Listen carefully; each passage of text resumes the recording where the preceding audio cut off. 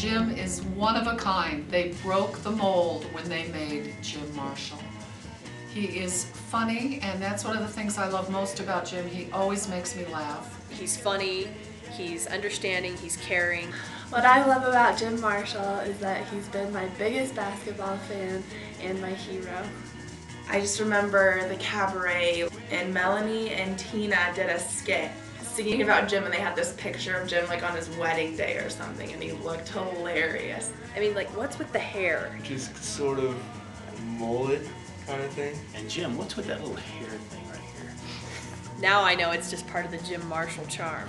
I would say what makes my father, Jim Marshall, a good youth pastor is that uh, he's essentially a big kid himself.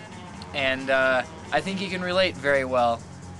I know this was made most evident when I saw his picture in the church directory, which was um, eerily familiar to my senior yearbook photo.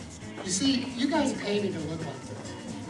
And so what I'm trying to experiment to see is how far I can go before you fire me. I have been Jim Marshall's boss for 10 years, an entire decade, and I believe there must be a special place in heaven just for me. Dang, I want some of that. He may be a little strange, but it's strange in a good way. He's the coolest guy you'll ever meet. He's awesome with the kids, and we could not have a better youth leader. What can I say about Jim? Uh, he's been probably one of the biggest influences on my kid's life.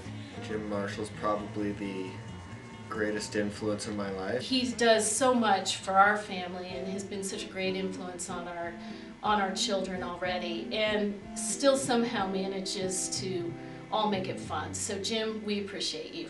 I think what I like about Jim Marshall the most is just his huge heart for the youth and just his passion for um, just teaching and just helping us to grow in our faith. He's changed our lives. He's changed the church's dynamics. He's brought our children to thought processes and heart spaces that I don't think that they would have been. His commitment to our youth and our missions program is just phenomenal. We are so blessed to have him, and um, thank you. Hey Jim, congratulations. Just want to say thanks for all you've done for me past couple of years, and um, you know, just always gonna remember all the fun things we've done here. Hey Jim, look, I'm just gonna say happy birthday and everything, and we'll go up flying sometime. All right, that's my promise to you. Over the last decade, he's become like a brother to me. Jimmy, I love you.